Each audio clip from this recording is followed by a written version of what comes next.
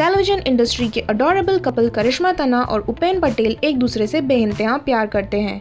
Big boss season 8 के show में इन दोनों की लव स्टोरी शुरू हुई थी, जिसके बाद दोनों ने नच बलिए सेवन में भी साथ में पार्टिसिपेट किया था और शो में उपेन ने करिश्मा को शादी के लिए प्रपोज भी किया था। इन दोनों ने एमटीवी लव स्कूल के शो को साथ में जज किया था। हाल ही में एक न्यूज़ ये भी सुनने में आई है कि करिश्मा बॉलीवुड डेब्यू टीना और लोलो के ज़रिए बनाने वाली है।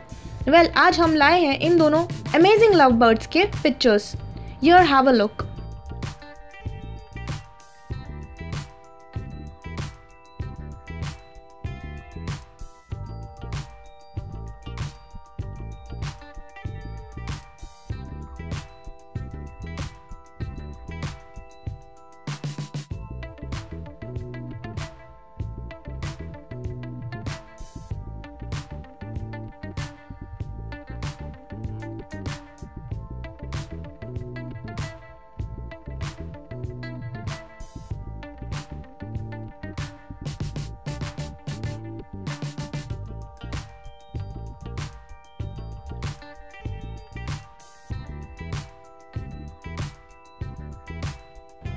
television की मोर अपडेट्स के लिए देखते रहिए हमारा चैनल।